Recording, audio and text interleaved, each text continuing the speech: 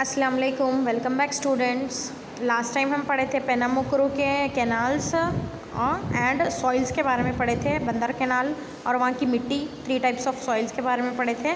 आज हम कंटिन्यू करने वाले हैं रेनफॉल्स यहाँ की रेनफॉल वही क्लाइमेट एंड इरिगेशन यहाँ का इरिगेशन मतलब पानी, जो एग्रीकल्चर के लिए जो हम पानी की इंतज़ाम करते हैं ना उसको बोलते हैं इरीगेशन चाहे वो बोरवेल हो या फिर वो बोर किसी बोर का वाटर हो या कैनाल का वाटर हो, जो हम फ़ार्मिंग के लिए जो पानी यूज़ करते हैं, जो पानी सप्लाई करते हैं, उसको बोलते हैं इरीगेशन ओके एंड रेनफॉल मतलब हमको पता है बारिश, ठीक है?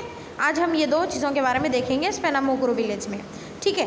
The region received heavy rain from June to October अब इस रीजन में जून से अक्टूबर तक हैवी रेनफॉल बहुत तेज़ बरसात होती। ठीक है? From the south west from November to May there is relative very little rainfall अब नवंबर से मई तक बहुत लिटिल रेनफॉल कम होती। Little rainfall okay good sunshine and warm temperature में make it possible to raise crop अभी देखो अब हम पानी डालते हैं ना झाड़ में। पानी डालने के बाद में उसको थोड़ी देर छोड़ना भी पड़ता। तब क्या होता, वो जो बीज अंदर की है ना, वो झाड़ थोड़ा थोड़ा ऊपर आता। तो उसको थोड़ी धूप की भी ज़रूरत है। हम सिर्फ़, हमें झाड़ उगाना है तो सिर्फ़ पानी की ज़रूरत नहीं। तो थोड़ा टेम्परेचर भी क्या होना पड़ता, थोड़ा धूप गर्म होना पड़ता। तब क्या होता, वो झाड़ का बीज फुट के उसका जड़ उसका जड़ अंदर बनता और उसका पेड़ ऊपर आ जाता। ठीक है? अब यहाँ पे जैसा नवंबर नवंबर और मई के बीच में जब बारिश कम होती ना तो थोड़ा थोड़ा टेम्परेचर भी थोड़ा धूप आती सनशाइन होता। थोड़ी धूप निकलने में क्या होता है, इसमें अच्छी अच्छी क्या बोल सकते हैं, झाड़ अच्छा उगने की एक उम्मीद रहती है और उगता बिल्कुल वहाँ पे, इस विलेज में अच्छे से उगते झाड़ इस क्लाइमेट में okay no rain after October अभी अक्टूबर के बाद क्या होता? बिल्कुल रेन नहीं होती. It is necessary to irrigate the land with water either from the canal अब अक्टूबर के बाद में जब नहीं होती, झाड़ थोड़े थोड़े उग जाते, तभी भी तो पानी की ज़रूरत पड़ती हमको ठीक है ना? आप झाड़ उग रहा पानी बिल्कुल नहीं डालो बोल के तो नहीं ना, खेती में तो फिर जब जब झाड़ थोड़े थोड़े उड़ते तब पानी फिर से डालना पड़ता। अब यहाँ पे बरसात तो बंद हो गई। अभी क्या ज़रूरत पड़ी यहाँ पे? इरिगेशन के लिए लोगों को? Canals canal then borewells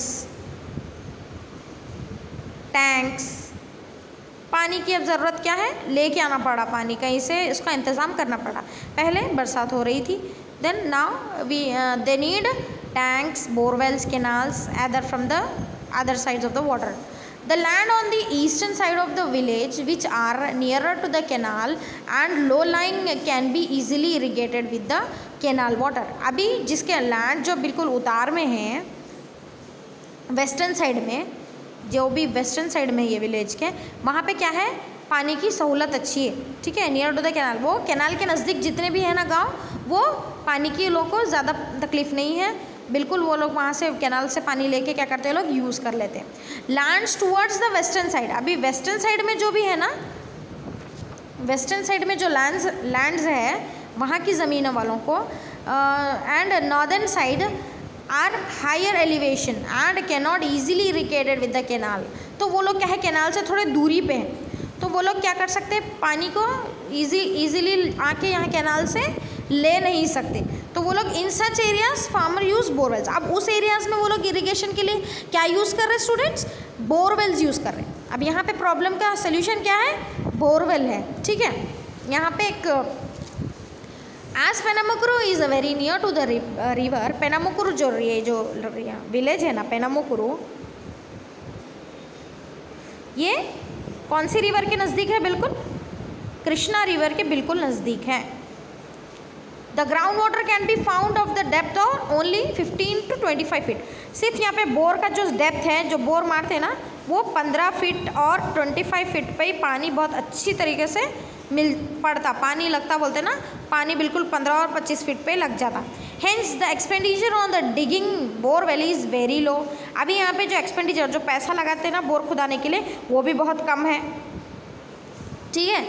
It is very low since the entire region is electrified तो पूरा रीजन क्या है? इलेक्ट्रीफाइड है ये। इलेक्ट्रीफाइड मतलब इलेक्ट्रिशियन सॉरी इलेक्ट्रिक्स जो इलेक्ट्रिसिटी जो बोलते हैं ना, वो, अब बोरवेल तो ज़ाहिर सी बात है इलेक्ट्रिसिटी से ही चलेगी तो इलेक्ट्रिसिटी भी यहाँ पे सबको क्या करें, बिल्कुल अच्छी तरह अच्छे उसमें सप्लाई कर दे। ऐसा नहीं है कि इलेक्ट्रिसिटी बिल्कुल नहीं रहती, गाँव में ख़ासतौर पे देखते कि हम इलेक्ट्रिसिटी नहीं रहती, ऐसा कुछ नहीं है, यहाँ पे पानी है, बोरवेल्स है तो यहाँ पे इलेक्ट्रिसिटी भी अच्छी सप्लाई होती है okay most of the borewells have submersible pumps operating with electricity electricity ही important है borewells के लिए ठीक है recently there has been an increasing use of groundwater through uh, through the borewells to cultivate the which can not be easily irrigated with the canal water जो canal से बिल्कुल नहीं यूज़ कर सकते पानी केनाल का उनको सब मोस्टली बहुत सारे लोगों को बोरवेल्स खोद के वहाँ पे वो लोग क्या कर रहे हैं, उसका फ़ायदा उठा रहे हैं, ठीक है? अभी ये हमारा टॉपिक इतना हो गया है रेनफॉल एंड इरिगेशन के बारे में हम देखें, यहाँ पेनामोक्रो विलेज में किस तरह से रेनफॉल होती इरिगेशन यहाँ पे है खेती के लिए कैसा यूज़ करते, पानी, वो देख लिए, अभी यहाँ पे एक मैप है, देखिए स्टूडेंट्स पेनामुकुरु विलेज का मैप है, देखिए। देवरापल्ली, हम फ़र्स्ट में पढ़े थे, वयूर गाँव के पास, ठीक है? ये है गाँव, हरियाली सब है, आप देख सकते हैं north north direction south east west एक बार इसको अच्छे से देखिए स्टूडेंट्स मैप को समझने की कोशिश कीजिए ओके ये देखिए यहाँ की खेती। Agriculture borewell irrigation paddy and sugarcane field ये पैडी और शुगर केन का खेत है। यहाँ पे बोरवेल से क्या कर रहे हैं? पानी डाल रहे झाड़ों में। ठीक है? थैंक यू अगर इससे कुछ रिलेटेड में क्वेश्चन आते से तो मैं आपको फ्लैश कार्ड सेंड करती हूँ ठीक है? Okay bye.